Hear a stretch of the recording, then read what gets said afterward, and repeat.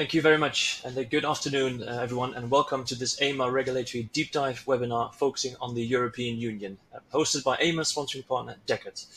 My name is Rembert Keizer. I'm Associate Director, Asset Management Regulation at AIMA. Before we begin, I'd like to quickly provide some background to these regulatory deep dives for those of you who have not joined any of these webinars before. So in each of the uh, deep dive sessions, we have challenged a sponsoring partner firm to assemble a program that focuses on a single country and is crafted for an audience of people who are based outside that country and who are accessing the country either to make investments or to see clients and or investors. In particular, we asked the sponsoring partners to highlight developments over the prior six months in areas such as law, regulation, supervision, enforcement, and litigation, and to also note any expected developments coming in the next six months. So we challenge firms instead to think laterally, and we ask them to choose topics that were perhaps uh, somewhat different from what you can hear uh, on other events. This could be because the topics were not worthy of a whole session on their own, or perhaps because they were outside the usual asset management sphere. But the topics had to be important ones for non-domestic asset managers. Dechert have kindly offered to host today's webinar, which will focus on the European Union, uh, but with a particular spotlight on Germany, Ireland, France, and Luxembourg. Before I pass over to Cyril, who will be talking to us about the French Energy Climate Act, there are just a few housekeeping notes I'd quickly like to mention. Um, so as mentioned before, um, to ensure we have a smooth webinar, we've muted all your lines and disabled your video, so no one will be able to hear or see participants of the webinar. If the system is asking to put your video or audio on, uh, then please select no. Uh, should we have any issues with bandwidth or transmission, we will try to close this webinar call and reopen it as a phone conference. Um, the phone audio dial-in details are included in your yeah, confirmation emails and should be visible on your screen as well. Um, I know this has been mentioned already, uh, but please note that this session is being recorded and in your confirmation email you can find some more information on how the recording will be used and distributed. Uh, but the, the, the purpose of the recording is to share the webinar to AIMA members only. And then lastly, before we kick off, we will be saving some time at the end of today's webinar for Q&A. So if you've got any questions during the event, then please do enter them into the chat function on your screen. Uh, please feel free to type a question anytime through the session, uh, and only the presenters will be able to see your questions. And we'll try to address any questions that come through live or at the end of the presentation. If we can't answer your question on the webinar, we will follow up with you after. And now to get started, as we've got quite a lot of ground to cover, I'd like to hand over to Cyril Fiat, who is a partner at Dechert in France, who will kick things off for us. Cyril, over to you. Thank you very much, Raymond. So I will be talking about the Article 29 of the Energy Climate Act. Um, the Energy Climate Act of 2019 is in the continuity of the Paris Agreement. The objective of that law is to engage the French economy towards its transition to carbon neutrality on or before 2050 in response to the emergency of climate change and ecological issues. This law has a very broad scope, from renovation of apartment buildings to helping the development of the hydrogen energy production in France. So why talking about that law today? It is because its provisions are applicable only since last March, and given that the implementation decree has not yet been published, the precise measure of Article 29 which are mostly disclosure and reporting obligations, are not yet fully applicable, but will be coming very soon. Article 29 of the law is specifically targeting French AFMs, French credit institutions, and French MIFID firms for their portfolio management and investment advisory activities.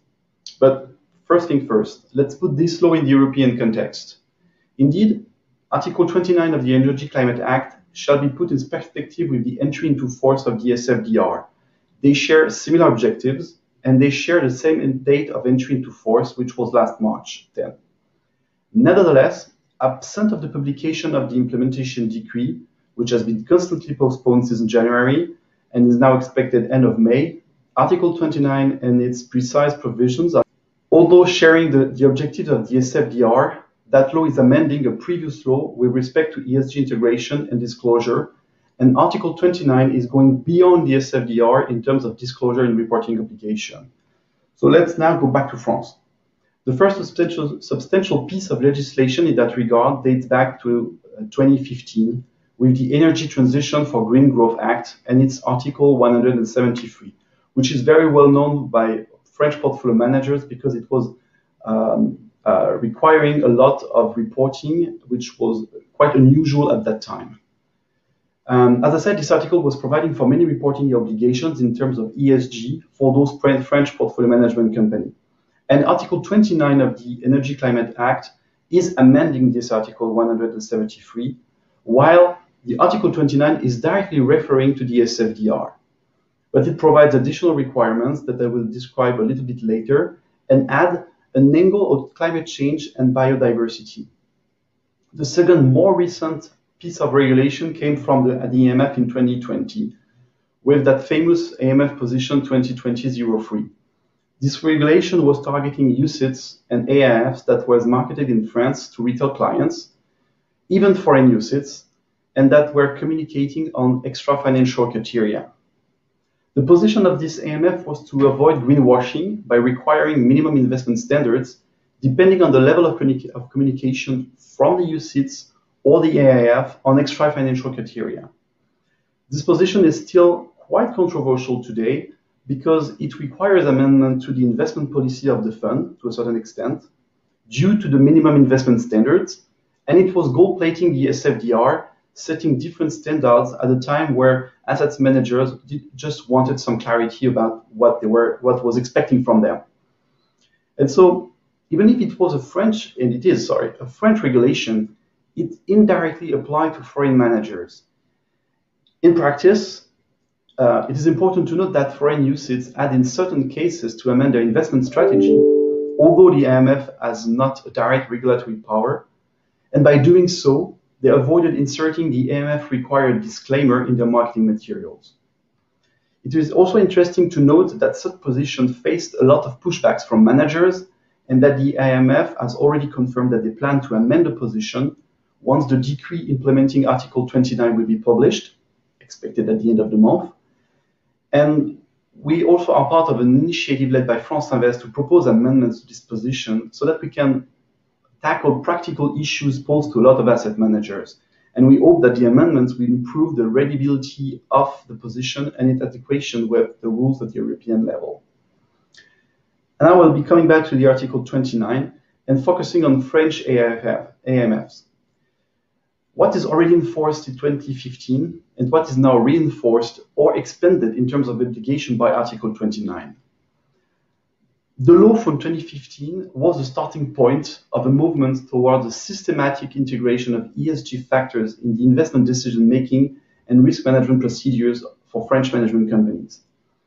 Indeed, the French AFMs shall already publish in their website an information on the consideration of ESG criteria in their investment policy which include an information on the general approach with respect to ESG criteria taken in, into account in the investment policies, the nature of the content and the content, the frequency and means to inform the clients, the list of collective investment vehicles concerned by the consideration of ESG criteria, adherence, if applicable, to charters such as the UNPRI or any other similar charter, and the description of ESG risk.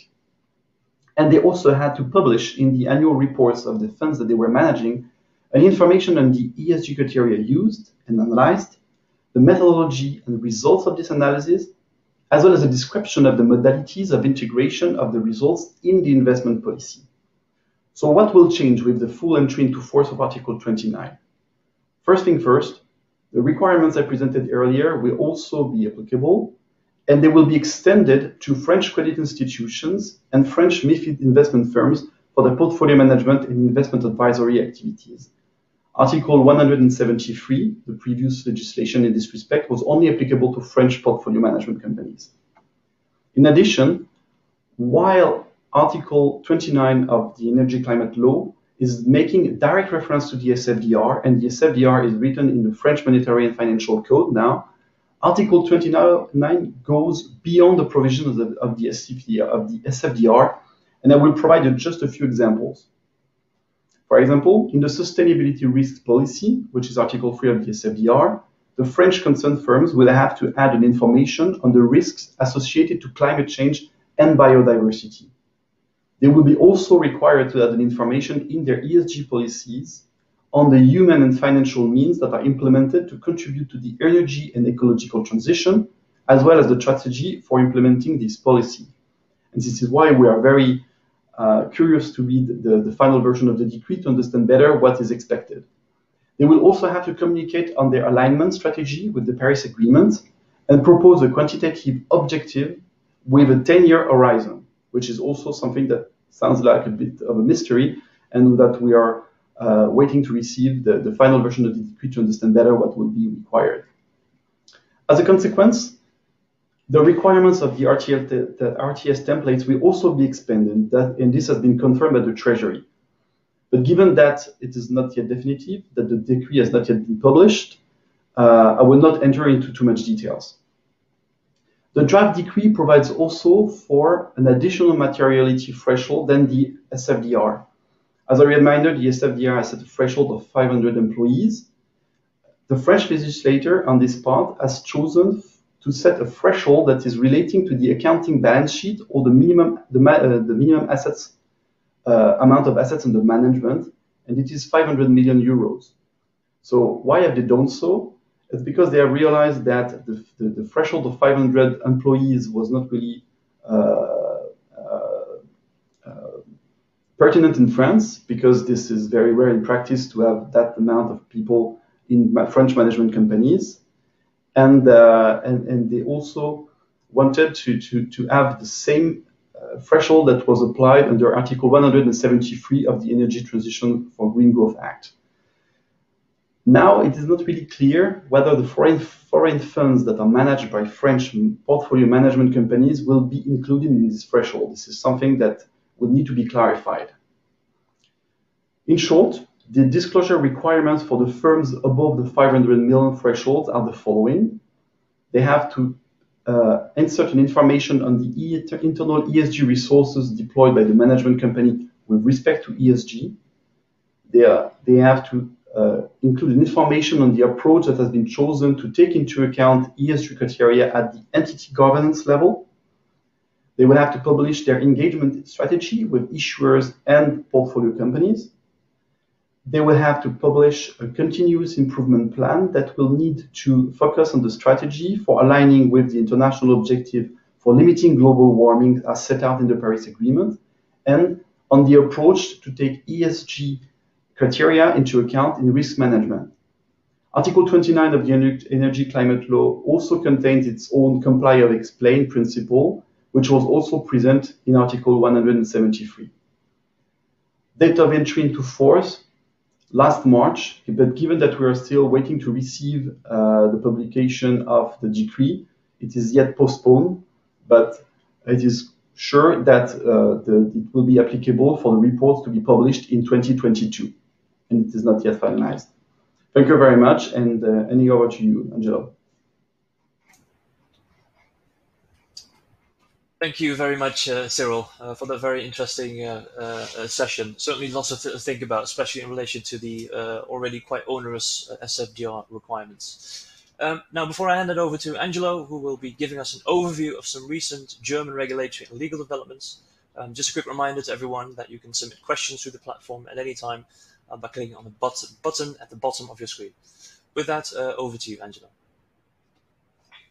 Thank you very much, Remit, and hello, everybody. And please don't be confused, although I have an Italian name, uh, I will be speaking about Germany. In the next 10 to five, uh, 15 minutes, I'd like to provide you a, a very short overview of a couple of uh, legislative initiatives that, that will affect um, asset managers and, and others other financial services providers in Germany, but also abroad. You have the, the list of topics on the slide. You can see the six topics that I'm going to cover. The first one, which probably is also the, the most relevant one, let's say, it's the Fund Domicile Act. Um, and that is an act which intends to do two things. It intends to bundle uh, regulatory and tax acts um, measures and it does so in order to strengthen Germany as a fund domicile, or sometimes uh, also called fund location. The act does two things. First of all, it implements European directives or European law. And secondly, the legislator took the opportunity to, um, to introduce a couple of further concepts and, and, uh, and tools to make Germany more attractive um, as a fund domicile. Also, increase um, competitiveness uh, compared to other fund jurisdictions. the law will come into force in uh, August of this this year, so pretty soon, and will be uh, pretty relevant. What it does, as I said, it does actually two two things. Um, it implements the EU-related um, part of the pre-marketing regime. As you know, the European Union has come up with a harmonized pre-marketing regime throughout Europe. Um, as you may also know, we had a pretty a pretty well functioning pre-marketing regime in Germany as of now. Uh, so that one will be replaced and will be uh, amended through this this act. So that's something definitely something to uh, to look at because it will um, have a major uh, impact on on marketing and pre-marketing activities for foreign managers in particular uh, into Germany. It also includes or implements other cross-border related marketing activities uh, in uh, with regard to UCITS mainly. So um, that's the European part. And as I said, the legislator actually wanted to to take this opportunity and to, to amend the existing fund regime to increase um, the attractiveness of Germany as a fund domicile. And it implemented or introduced a couple of tools for, for German managers. For example, it um, introduced more flexibility for real estate fund managers in terms of granting loans to holding companies and to, to subsidiaries. But it also introduced a few uh, new funds. Actually, the one, the first one is a reintroduction because it was already contained a couple of years ago in the German fund regime, which are infrastructure retail funds. So uh, we have now again the possibility to set up infrastructure retail funds um, as a German as a German fund vehicle.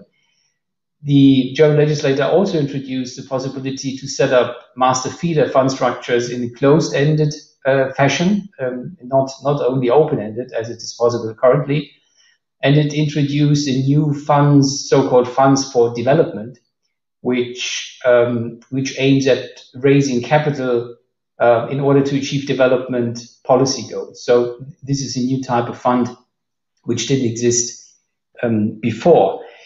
There is one noteworthy amendment, which is, I think, um, relevant for everybody here in in the audience. Is the at, at pretty late stage of the legislative procedure, the German legislator introduced the possibility for a specific set of German funds. These are the institutional funds that are mostly and predominantly used by uh, the institutional German institutional investors, the so-called special funds with fixed investment terms.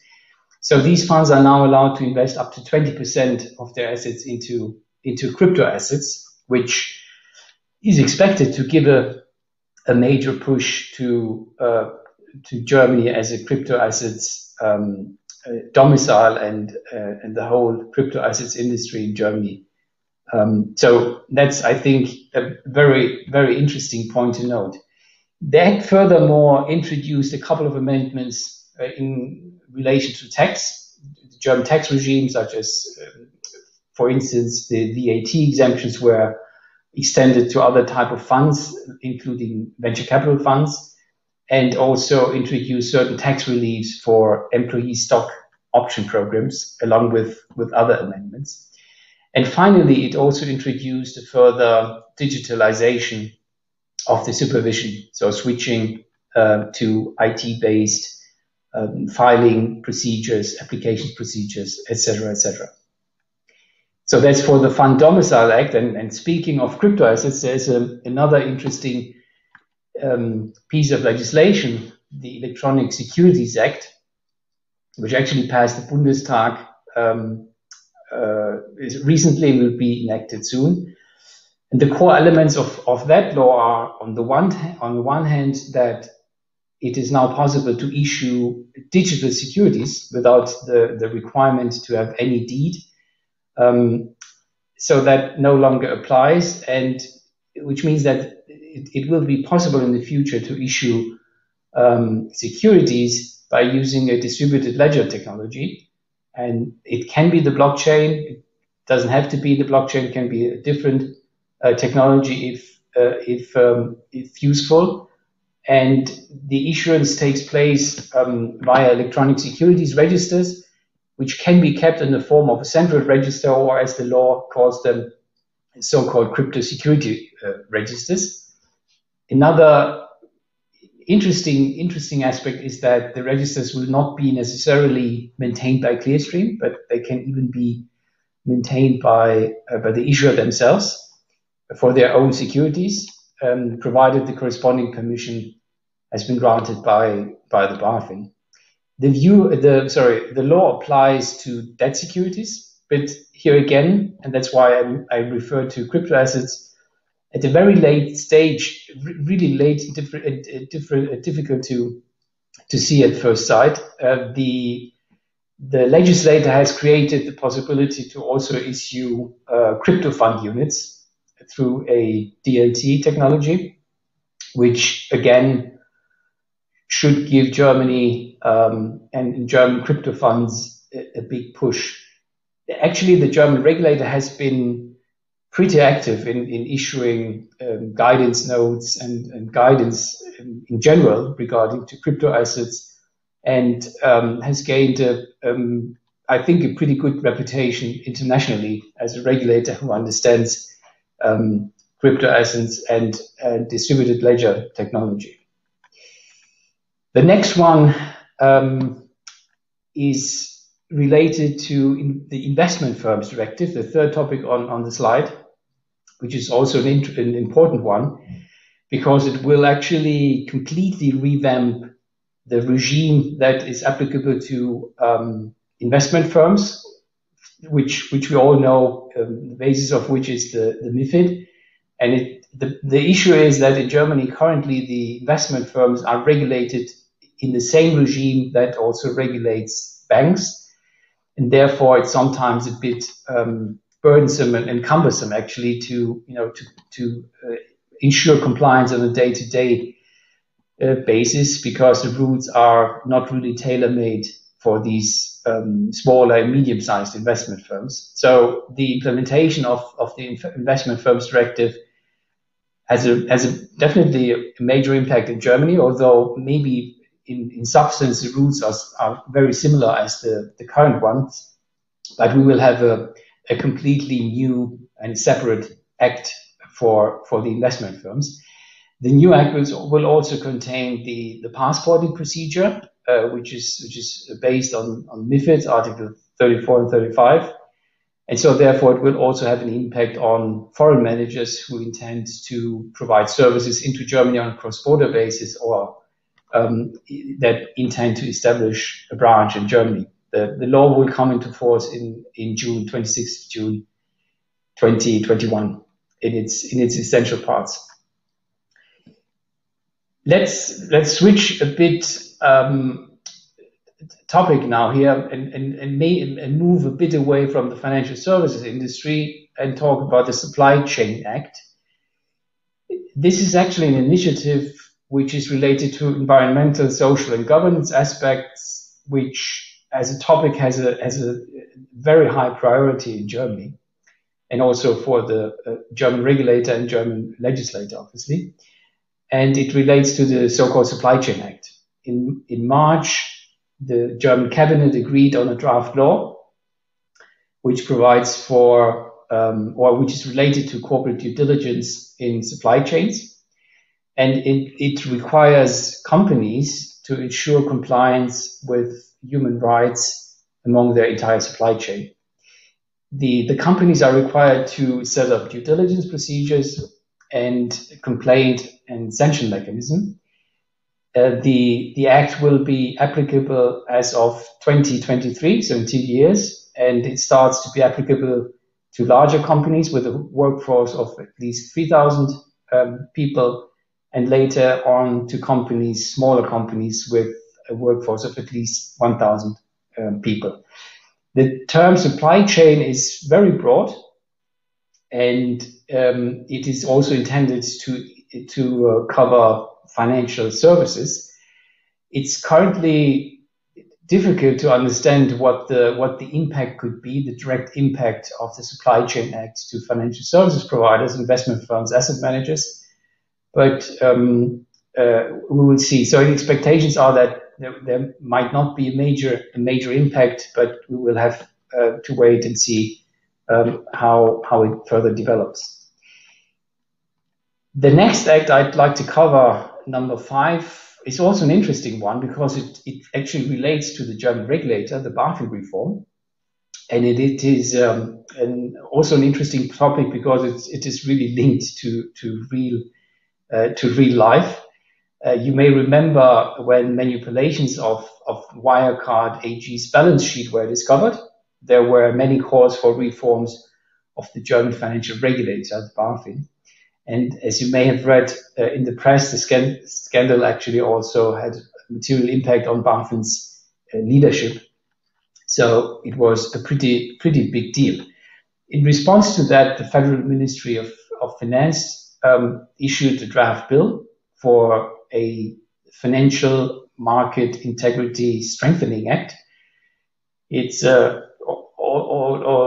already hard to digest in English, but the German, I assure you, the, the German term is even even worse. The aim of this act is to avoid um, scandals, obviously, like the Wirecard one, by enabling the supervisory authority to act more efficiently, to work in a in a better structure, more structured manner, and to, to supervise more effectively. And for these purposes, um, the the act or or the Ministry of Finance actually introduced the so-called seven seven points plan, uh, which contains specific proposals for the reform. So there are seven points. The first one is the uh, supervision of complex companies so one of the issues with Wirecard was that it was a pretty complex uh, construct.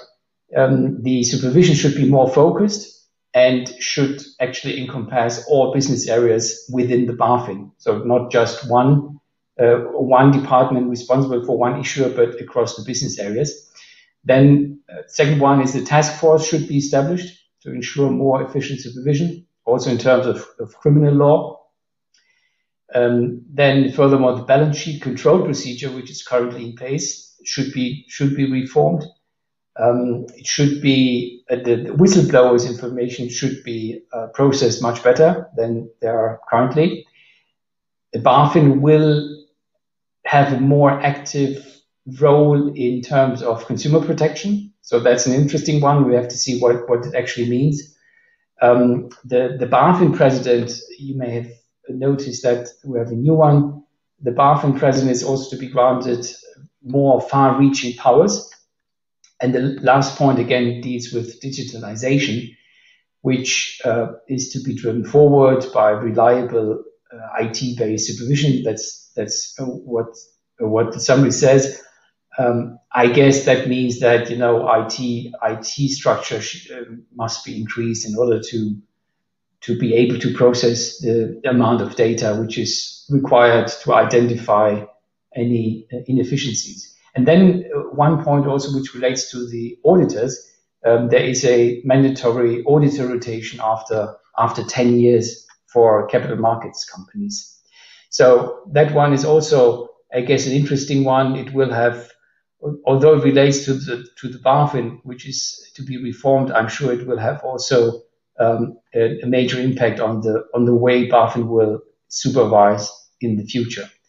And the last one is also an interesting one: the EU uh, digitization directive, which will be implemented in into German law.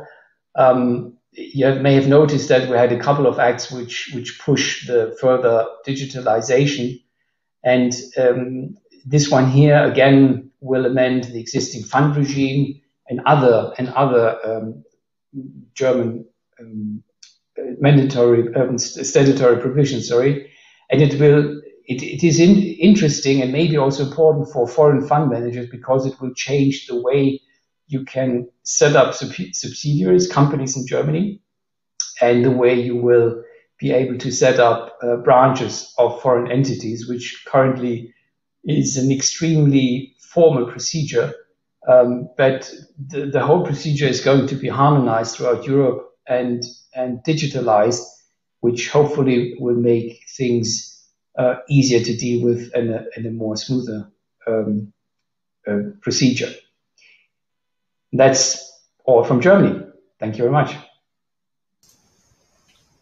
Thank you very much, Angelo. Certainly uh, a lot to think about there. So thank you very much for the uh, whistle stop tour. Um, okay, with that, we will now move from Germany as a potential future fund domicile to the ones that are, of course, already well established fund jurisdictions in Europe, uh, focusing on Luxembourg and Ireland. Uh, Marc, I thought we could start perhaps with you to tell us about some recent developments in Luxembourg before handing it over to, to Ciara. Thank you very much, Ramat. Uh, welcome to Luxembourg, everybody. So uh, I will talk about uh, two main subjects, the changes to Luxembourg fund legislation as the first point, and the second one about the AML functions uh, of Luxembourg funds. So I try to make this a little bit more practical in order to avoid being uh, too boring on, on AML um, documentation. Uh, so the first point is the changes to Luxembourg legislation. We have a, a draft bill of law that has been issued mainly uh, to deal with the implementation of the directive that has already been mentioned by Angelo on cross-border marketing and uh, distribution of uh, funds in the EU. Uh, it was also used actually the opportunity uh, to make additional changes, not so many, but uh, one interesting one, clarification about the accounting standards for Luxembourg partnerships, because there have been some discussions with the regulators and also from a legal point of view. So uh, the deadline for that new piece of legislation is uh, 2nd of August uh, 2021 because that's the implementation deadline also uh, of the directive and has also been used as the effective date of the change of legislation. So I will not go into all of the details, obviously, of um, the changes which are being proposed because those are uh, directive driven, but I will talk a little bit about uh, the pre-marketing rules because I think it's it's interesting also to see that we have now a harmonized uh, definition of pre-marketing, uh, which is an advantage to a certain extent because it provides a clarification. On the other side, it takes away certain of the gray zones that we had, where it's always easier uh, to, to play in a gray zone rather than having very clear rules uh, that might prevent something that has been done in the past. So the providing of information or communication on investment strategies or investment ideas by an EU AIFM can obviously make uh, to potential investors. But uh, let's say they have to be very careful about the documentation that will be presented and uh, that really that they're only testing their interest and not actually trying to, to offer or place uh, the fund. So the, the fund documentation should not be close to final. The, the investors should not be able to make their own uh, decision about an investment or not uh, in uh, the fund that would be pre-marketed. So it's really a question of being very careful about what, what is being done and what, what is not being done. It has also been clarified that actually if somebody is doing the pre-marketing on behalf of, uh, of the AIFM, that it must be a regulated entity. So unregulated entities cannot do the, the pre-marketing. So also uh, to be careful there. There are also additional procedures that have been detailed uh, in the draft bill of law based on the directive about the processes on pre-marketing, also information to be given to the home state regulator, which has to, to pass also information on to the host state regulator. And uh, ultimately, uh, let's say the procedure is such that uh, the, situation, situation is not very clear that uh, if you have professional investors actually subscribing within 18 months of the beginning of the pre-marketing, this will be deemed uh, to be the result of marketing. So uh, with the necessary notification procedures having uh, to be fulfilled before that. So the other other provisions, obviously, about marketing notification and discontinuation of marketing, discontinuation of marketing, maybe just to clarify, that uh, it has been taken into consideration, of course, that not the same rules can apply to open-ended and closed-ended fund, and certain of the rules will not apply in respect to closed-ended. Closed-ended fund, sorry. so, uh, as Angelo mentioned, also certain rules also on, on retail investors and uh, marketing communication to retail investors. There may be worthwhile uh, to note that uh, no physical presence or local representative uh, will be required anymore. Uh, now moving to the more Luxembourg topic uh, of the accounting standards for partnerships. Uh, there has been quite a lot of discussions with the Luxembourg regulators because they didn't like that Luxembourg regulated funds uh, set up on the forms of partnerships uh, were using, for instance, US GAAP. So they, they have clarified this uh, through uh, the AIFM FAQ, where they have said that uh, the authorized AIFMs established in Luxembourg managing Luxembourg AIFs had to use either Lux GAAP or IFRS for the accounts of uh, the Luxembourg funds that they were managing, regardless of the form of uh, these uh, AIFs. Of course, uh, let's say the market was not very happy about it because uh, the, the, accounting standards are set in pieces of legislation and there was no provision, for instance, for SCSP, which is a special uh, limited partnership. And as a consequence, uh, the industry and market participants started uh, to discuss that point also with uh, the Luxembourg regulators, which wanted to stick to, to their position, but also with the Luxembourg uh, Ministry of Finance. And the, the, the, conclusion of that was that um, there would be a clarification included in the Luxembourg AIFM law of 2013, uh, but just dealing with apes. So uh, the proposal is there to change and uh, the law and include an additional article to clarify that for Luxembourg SCSPs, so only for special limited partnerships, uh, the rule would be that they could be choosing not only IFRS or Luxembourg GAAP, but they could be choosing any kind of uh, GAAP that would be considered to be equivalent uh, by the European Commission, uh, which includes this US GAAP, Japanese GAAP, Chinese GAAP, Korean uh, GAAP, and Indian GAAP. So uh, a little bit to follow this, but uh, discussions are still ongoing because also the aim was actually to to give uh, generally more flexible uh, to Luxembourg funds. We have it now for the SCSP, but uh, the rest uh, is to follow. now, my second topic is about the ML functions and specifically what we call RR and RC and the differences based on the fund types.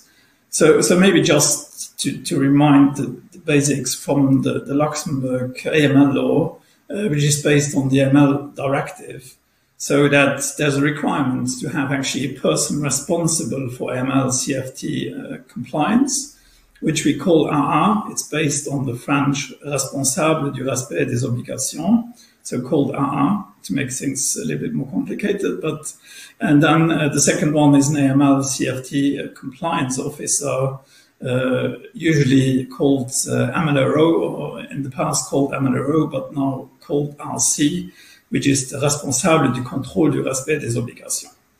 So the law itself provides for the RC appointment for flexibility uh, to apply the principle of proportionality i.e. that it's only necessary if the size and nature of the activities so require. Uh, the Luxembourg regulators, uh, which are focusing a lot uh, on AML over the last uh, few years, uh, decided that they would change the administrative uh, interpretation of this point and, and actually be more restrictive than the law itself, and that they would impose uh, they have done it through an FAQ, which is applicable to investment fund managers, but also to regulated funds. So I would just talk about regulated funds. Uh, so they decided to impose it to, to regulated funds. And they said, okay, for, for regulated funds, we want those funds to appoint both an RR and an RC. Uh, proportionality principle to be disregarded, so applying in all cases.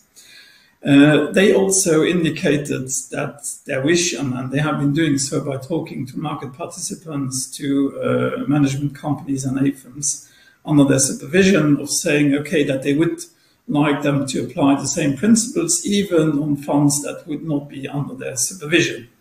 So we had really the situation where the FAQ was applicable to the specialized investment funds, i.e. the SIFs in Luxembourg, but not to the RAIFs, which are the reserved alternative investment funds, which are funds uh, that are not under supervision of the Luxembourg CSSF, but uh, nevertheless are uh, managed by an authorized AIFM and as such are indirectly regulated.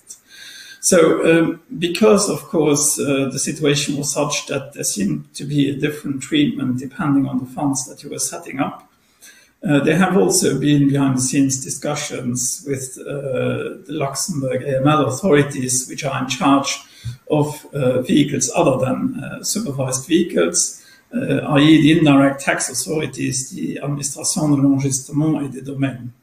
So, so what was happening is that the FAQ of the CSSF goes back to uh, November 2019. In December 2020, uh, the Luxembourg indirect tax authorities did more or less uh, a copy paste of uh, that FAQ and confirmed that the same rules had to be applied to Luxembourg RAIFs.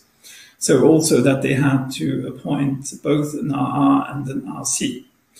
Uh, of course, uh, now we have a situation where you could say uh, for for SIF, for instance, regulated fund, both needs to be applied. Same for the RAIF. But what is happening for uh, the unregulated SCS or SCSP? Because the unregulated SCSP is not governed by a fund law, but it's governed uh, by company law and it's tax transparent. And as a consequence, it can also be used as a fund structure. It could be uh, uh, governed by uh, AIFMD uh, rules. Uh, but on the other hand, from say a pure AML perspective, there's no FAQ dealing with it. So I would say the practical answer is, of course, if if you want, if you have such a structure and you want to be conservative, use the same approach that you would be using for SIF uh, or for RAIF, so appoint both NAR and RC. However, if you believe that maybe on the cost side it would be more complicated to have to hire an external uh, RC if you do not have the possibility of having an RC which would be a member of uh, the board, for instance, so an independent director could perform uh, that role. Then you could also apply the proportionality principle if you consider that because of the activities and the size, it would not be necessary to have an RC.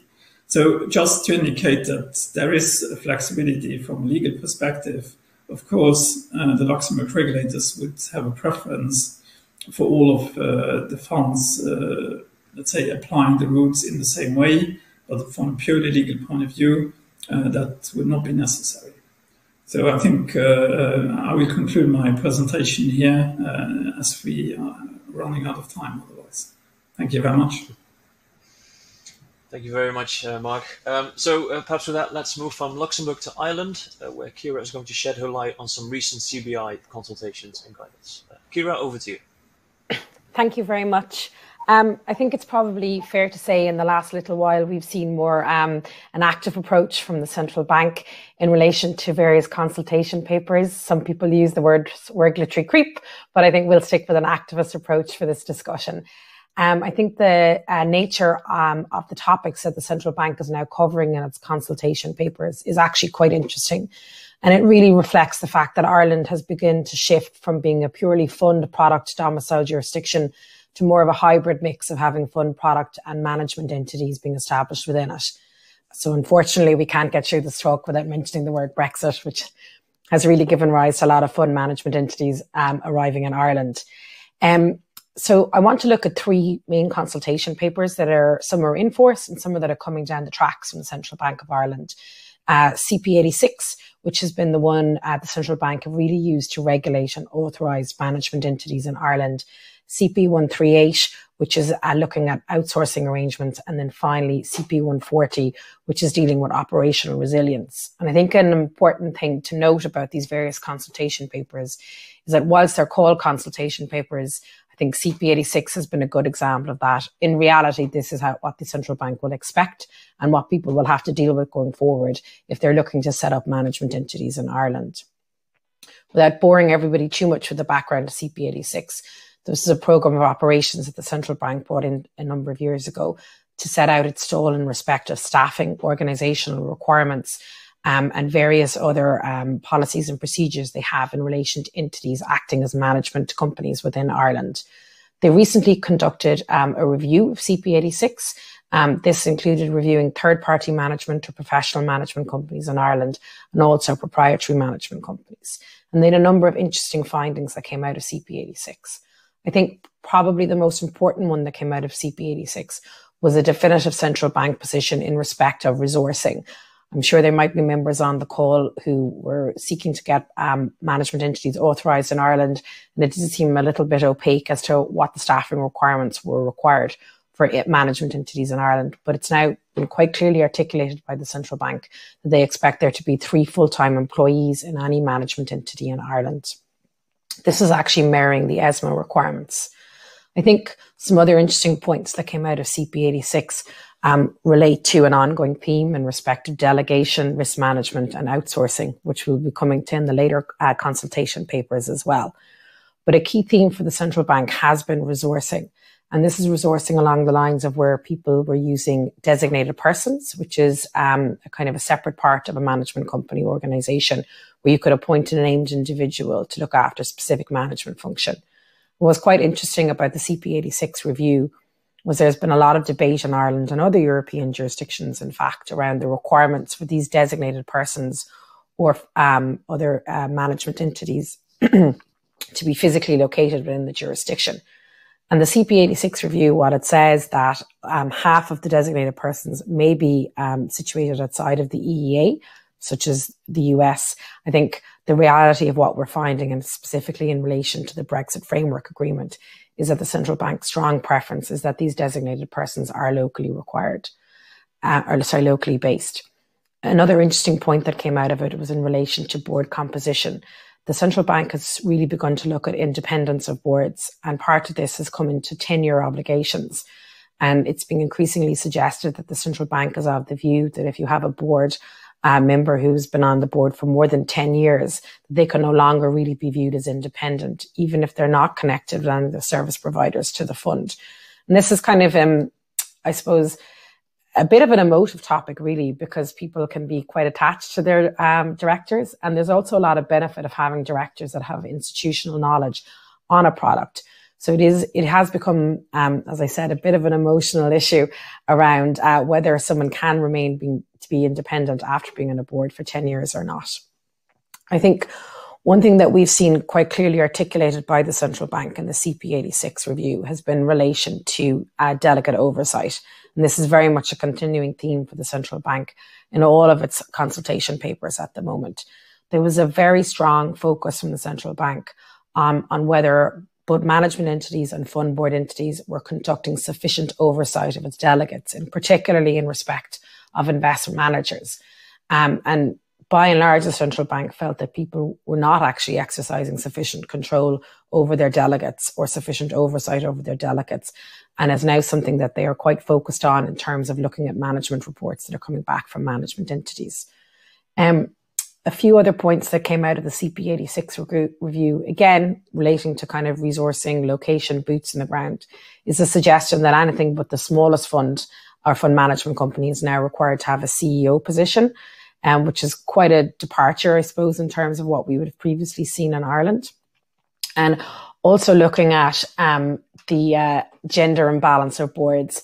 And the central bank um, has been quite clear that they no longer um, wish to authorize uh, boards that are um, all male um, and have started to articulate this quite strongly, both uh, through its various different papers and as a practical matter when you're looking to get entities authorized in Ireland. I think the themes of resourcing and delegation uh, link quite well to the next uh, consultation paper, which I'd like to mention, which is CP 138 which is really dealing with outsourcing arrangements. And the interesting thing about CP 138 is that it's um, a cross supervisory paper. So these requirements um, are across different uh, regulated entities. So they're in addition and act as an overlay to your already um, requirements of, you know, if you're a MIFID firm, your MIFID obligations, if you're a management company firm, your um, CP86 um, obligations.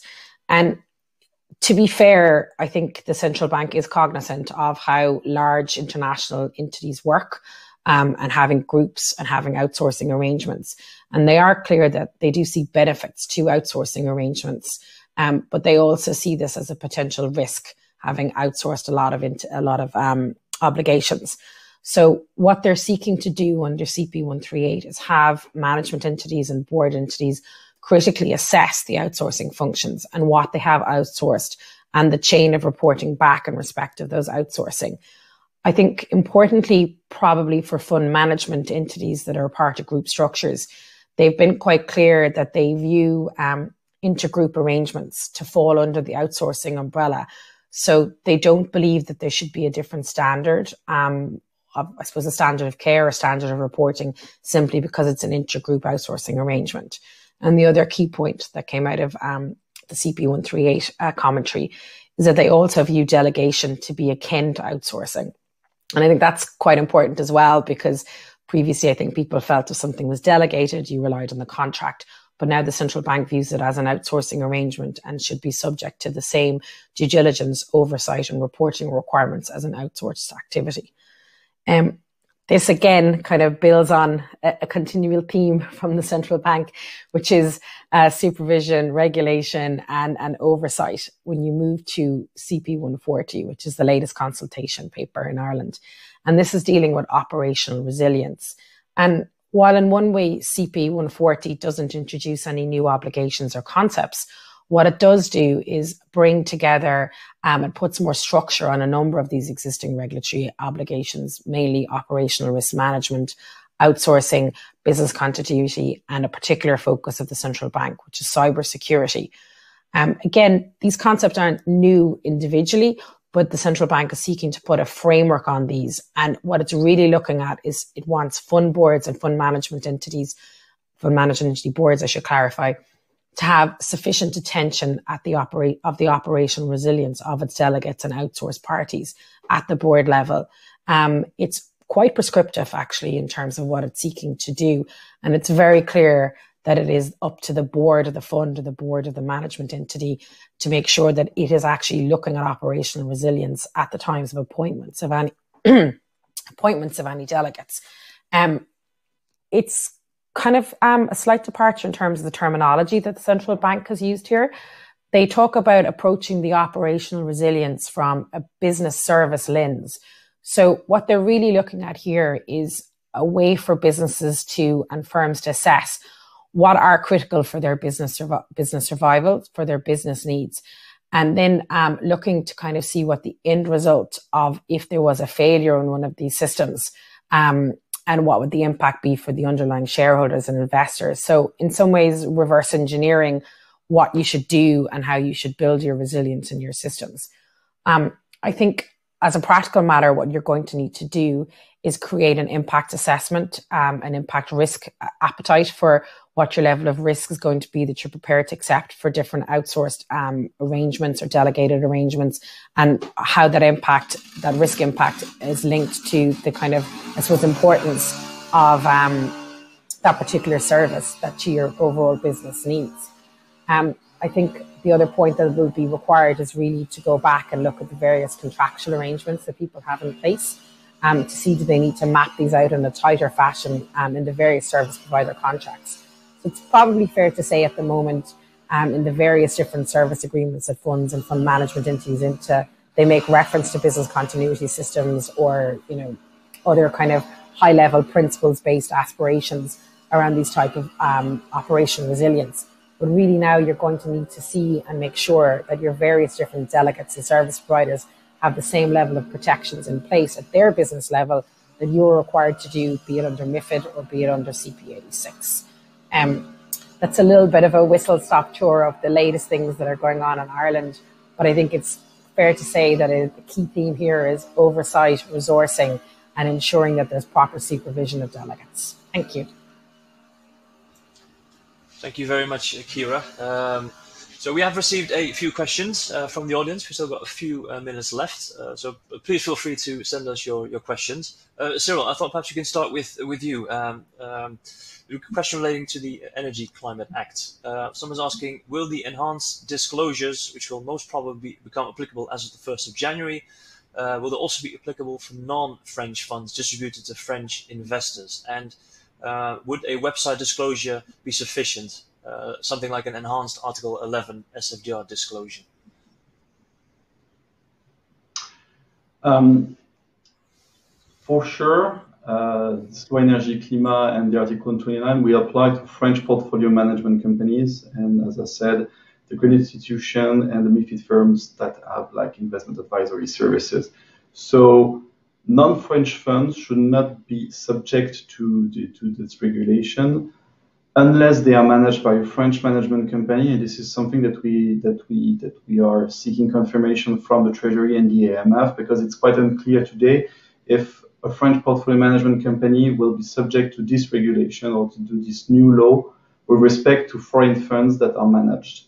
What we know for sure is that uh, foreign managers or AFM that are managing French funds will not be catched by this uh, regulation.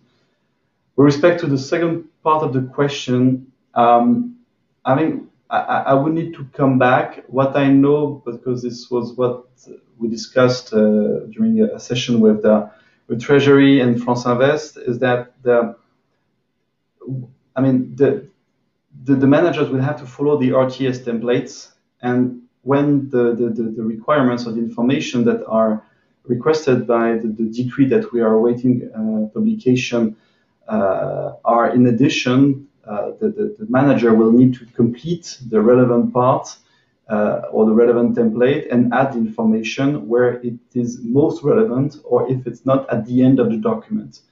So to give a complete answer because I don't want to be uh, to be unprecise on that particular one. I will revert uh, later. Okay, thank you very much, Cyril. Um, Marc, perhaps moving to, to Luxembourg, we have a question related to pre-marketing in Luxembourg. Um, can regulated non-EU firms perform pre-marketing for a Lux AFM, for, for example, UK FCA supervised companies, or only uh, EU regulated companies? No, it's uh, it's limited on, on, on the EU side. So uh, that, let's say there's level playing field also, but uh, let's say they can certainly not have a preference, but it's uh, uh, those that are acting on behalf of regulated entities in the EU.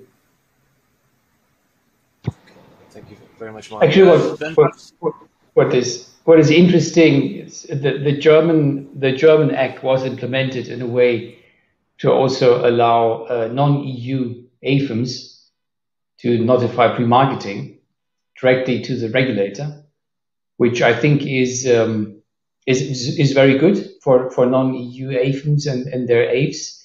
So it, it creates some flexibility and, and probably a good a good tool for um, you know for non-EU AFMs that want to test the the German market.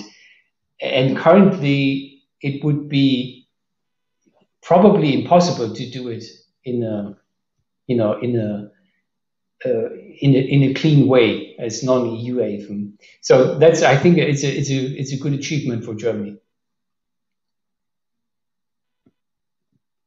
Okay, thank you very much, uh, Marc and Angelo. Uh, so with that, we have reached the end of the hour, uh, the end of the webinar. Um, so um, Cyril, Marc, Akira, and Marc, thank you very much for that very uh, informative uh, and interesting session. Um, so with that, we've come to the end of today's regulated deep dive session.